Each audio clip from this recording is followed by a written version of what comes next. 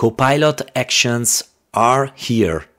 This new capability is now available in one of my Microsoft 365 tenant, so it's time to explore it.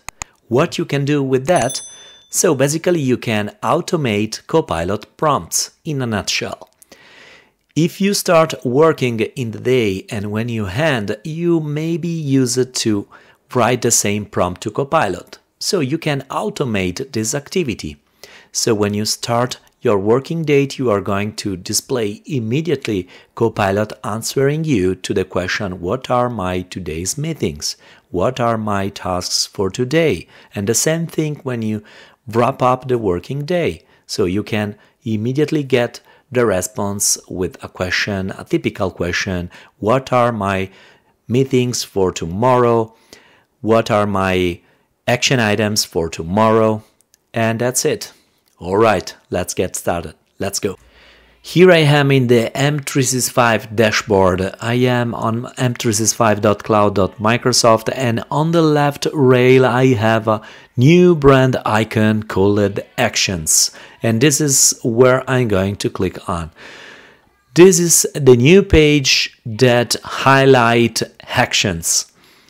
We have here the three main functions which are create, discover and manage. Down below I have the three main pillars of this page which are catch up, gather and prepare. This is what you can do so far with actions in Copilot. And down below there is an additional button to discover all templates. I will go in in a minute. So let's start from this one. From the first one, you can start with these three actions. Otherwise, if you want to explore more templates, you have to click on the button Discover or just down below in Discover templates. This will drop you exactly on this second tab. And this is where you have the full overview about all existing actions that are available so far. Now before to start uh, with the first one, let me show you immediately Manage. This is the list of all actions created and if you followed my previous video about uh, scheduling prompt uh, for Copilot, these are the three that I created in my video and this is exactly the same place where you can see all existing scheduled Copilot prompts.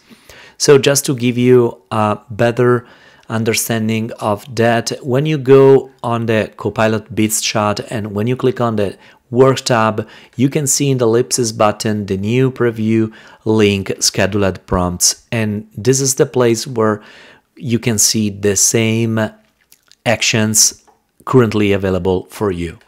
So now let's go back on actions and let's start to discover all possible actions that we have here in this page. So let's start with the first one. In this first case, we are under the catch up area. And what we can do here are four actions. We have identify tasks, start communications, meeting highlights, and scan mentions. So let's start with this one. And when you click on it, you have a very nice overview where you can immediately understand that specific part of this sentence are customizable. In this case, summarize key takeaways and action items from email. I can target Teams messages.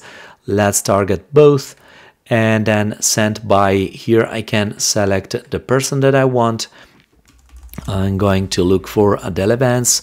In this case, in the last, let's say, week and notify me over email. So here I can take this as a one shot or I can target daily. So I'm going to create a scheduled action that will run daily or weekly. Let's keep it as a one shot. This is the preview. We have the step here, locate emails and Teams messages sent by Adele, analyze and summarize, and so on. And then let's click on create. Once you create a new action, this will be immediately dropped in the manage pivot or tab. And this is now running already. So is this Copilot is going to create this action for the moment and then this will run. And here you can see everything. So let's go back on Catch up and here what I can do as a second action is recap communication related to a topic. So let's say that I want to monitor something in meetings, it makes perfectly sense related to employee benefits, for example, in the last, but here you can replace these tags if you want and mention the topic that you want to follow in the last week and notify me over email. I'm going to keep this as well as a one shot. And here again, you have the preview. You can review the cadence of this action again, and then let's click on create. This is already uh, run and completed. In fact, I already heard about the notification coming through my mailbox. And now let's start the, with the creation of the third one, which is meeting highlights. So here summarize key takeaways. This is absolutely important when you have meetings and especially if you record meetings, this is a perfect action that will give you insights about uh, your meeting. So here again, you can target the cadence of this action here in the last two days, let's say month, and and then I will get an email about the insights of this one. So the last one which is always under the Catch up umbrella, is scan mentions. Here you can target the Teams messages or emails as always where I have been mentioned in the last week and notify me over email. Let's click again on preview and then create. So it's time to explore now the second area which is Gather. This is the area which has more actions for the moment, six actions. And here, what you can do is Gather monthly newsletter updates. Message here, you can follow, um, you can message a specific person, let's say in this case Diego Siciliani, my colleague on Teams, requesting updates for the monthly newsletter. So here I can customize these updates for the, I can say, for example, marketing campaign by 2 p.m. on Monday, 17 April. It's fine. So this is the, the draft message. As you can see, Giuliano is requesting updates for the marketing campaign. So, and this will be delivered directly to Diego Siciliani. Again, as a second one, we have compile questions for team meetings. So here I can target another colleague Sandra on Teams requesting questions for the team meeting. And here I'm going to add project drone X by 9 a.m. on Friday, April 4th. Okay, preview. This is the text that I can see in preview and then let's hit the button create. Let's move with the third one, which is collect information by a deadline. So here I can, let me try if it works already with group. It seems not, not yet. So I'm going to select now always my colleague Adele on Teams requesting information, requesting info about new employee benefits, the time, let's target a comfortable time 11 a.m. and let's start with on Friday preview again and this is every step that will be followed in this action let's hit the button create and now also this other thing is going to be created so it's time to jump on the fourth one and we have here get feedback, request feedback on a document. This is also really important.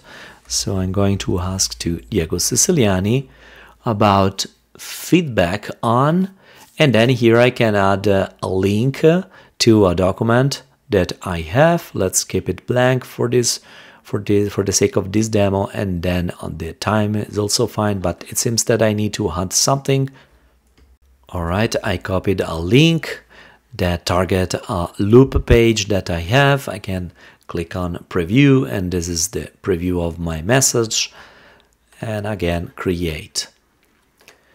So we are now approaching to the training reminder.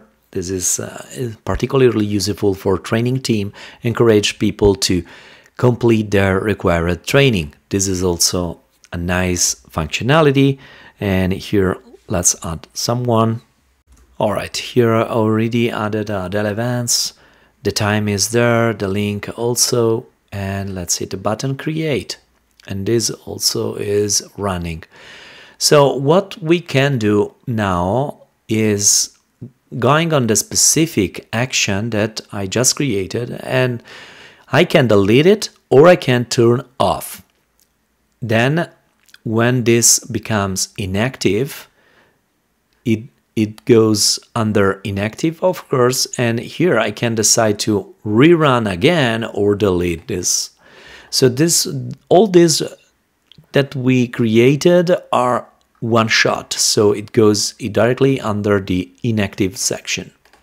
But let's move with the last one to cover completely the Gather area. And we are here on send survey. And here again I need to target someone. Let's go with Diego. Respond to here I need to add a link again so let's make it just for the sake of this demo let's make this link a bit shorter and then the time preview. Again this is the preview of my message. And here again you have also the ability to customize this text if it doesn't fit very well. And then let's hit the button create. Now we covered also the gather area and let's jump on the last one which is prepare. This is also extremely important because it helps you to deliver your uh, daily job and it, it can definitely speed up and boost your productivity. So what we have here is help me prepare for my day. So this is really crucial because when you start your working date, you want to immediately start very well by targeting uh, the email, the Teams message, and then you can repeat this daily. And this is exactly what I'm going to do. You can uh, locate calendar emails and Teams messages and everything that could be potentially um, targeted for you will be delivered to you. So then we have the second one of the prepare section and this is the maximize time. Time. Help me wrap up my day and prepare for tomorrow. This is also very important and here I can uh, target for example Teams messages. Let's hit the button preview and then create. So here for example it makes sense to create a second one in order to target email as well or a Word document, for example. So this is just, uh, keep in mind that this is just a preview of this functionality. So I think that Microsoft uh, will evolve this uh, section with more actions and probably there will be also the ability to customize a bit more actions here. And the last one is help me prepare for my meetings tomorrow. Send me a summary in email text Teams message or Word document and let's hit the button again, preview and then create. So we have done and we covered all possible actions that you can run at this stage. So by going over manage page, you have the ability to have a very uh, have a very great look at glance all actions that you created it's time to see the result produced with those all these actions. So what I received here are emails and we have in this specific case that help me wrap up my day and prepare for tomorrow. And what I have here is a loop page. Let me open it here. So for every mail that I got, I received basically a loop component and so I can easily follow up using uh, Microsoft Loop and it's easy also to share with colleagues. This is another one that I got. It, I have here uh, help me prepare for my day, send it to me over email. And it's again, I have you have a total of two meetings scheduled for today. Here is your schedule, and I have a couple of meetings here mentioned. I have also the topics and emails that I, I received. This is another action. I have always the loop component, and this is another summary about my mails and meeting related to employee benefits. So pretty pretty cool. This is what this is what is the result in uh, Outlook. Let's jump now in Microsoft Teams, but I think I didn't got anything so far from the actions. Probably I have something from Diego Siciliani.